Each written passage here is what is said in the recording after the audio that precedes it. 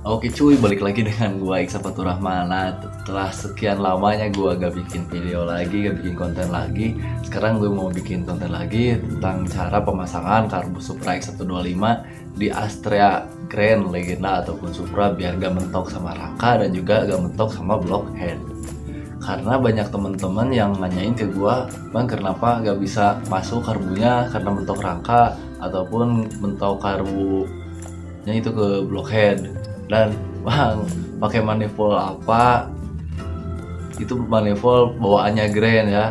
Nggak pakai yang bawaannya Carbus Plus 125 dan ada juga komen yang bang itu filter karet filternya bisa dipasang atau enggak? Bisa dipasang cuma harus ganti karetnya. Harus pakai karet yang bawaan Carbus Super 125 atau Karbu Karisma itu bisa masuk. Dan kenapa nggak mentok eh, apa itu? Mentok di rangka karena kalian itu salah pemasangannya cuy. Ini kesalahan gue juga kemarin gak dijelasin cara pemasangannya.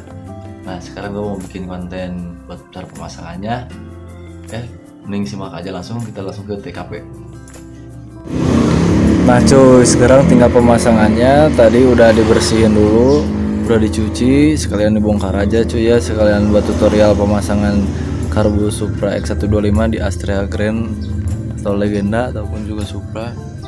Nah, kalian simak cara pemasangannya biar gak salah lagi, biar gak mentok lagi ke rangka ataupun ke blok mesin.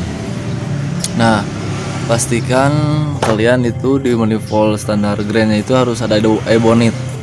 Ini yang plastik warna hitam ini harus ada itunya.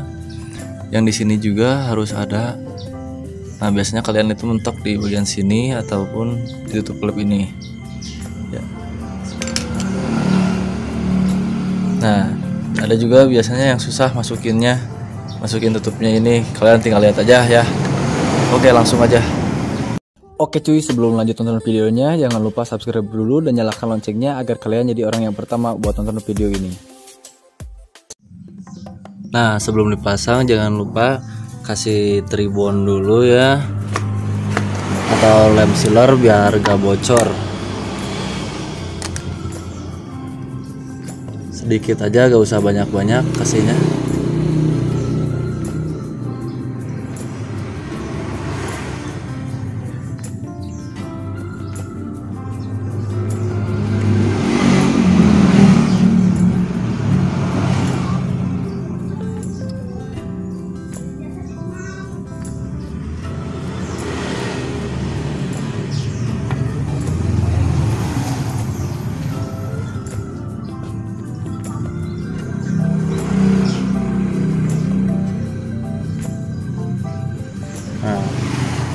setelah nempel ebonitnya ebonit yang plastik. Kalian jangan langsung pasang karena harus pasang dulu scape-nya.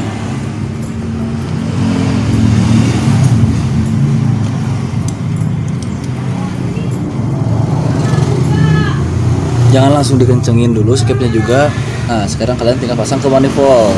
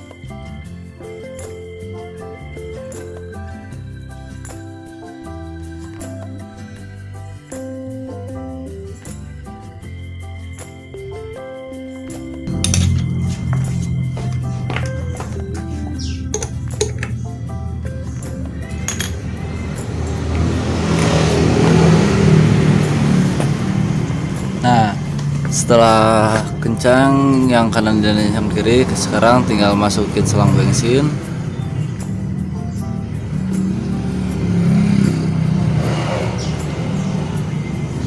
Nah selang bensin udah masuk sekarang kita tinggal kencengin bagian skate nya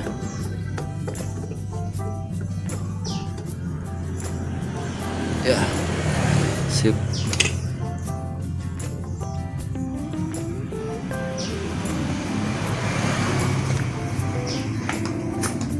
nah tuh jauh kan dari rangka. Ini gak mentok sama rangka. Aman. Yang bawah juga aman.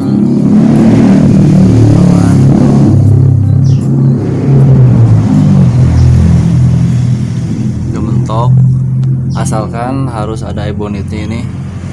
Yang ke yang plastik ini sama yang ini juga harus ada ebonitnya udah kepasang semua sekarang tinggal bagian penyetelan angin. Nah kan ini baru mau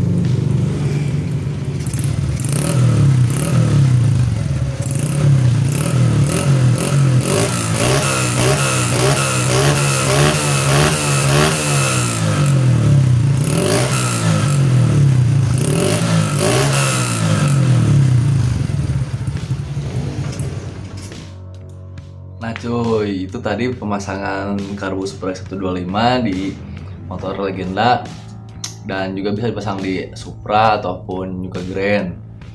Ya mungkin itu kurang lebihnya cara pemasangannya. Jika masih ada yang kurang jelas, silahkan tanyain aja di kolom komentar di bawah. Dan barangkali jika ada saran-saran buat bikin konten apa aja, kalian tinggal tanyain aja langsung ke gua, ntar gua langsung bikin kontennya. Jangan lupa like, comment, and subscribe dan dirasa bermanfaat. Jangan lupa share juga ke teman-teman kalian agar yang belum tahu bisa jadi tahu. Oke cuy, thank you.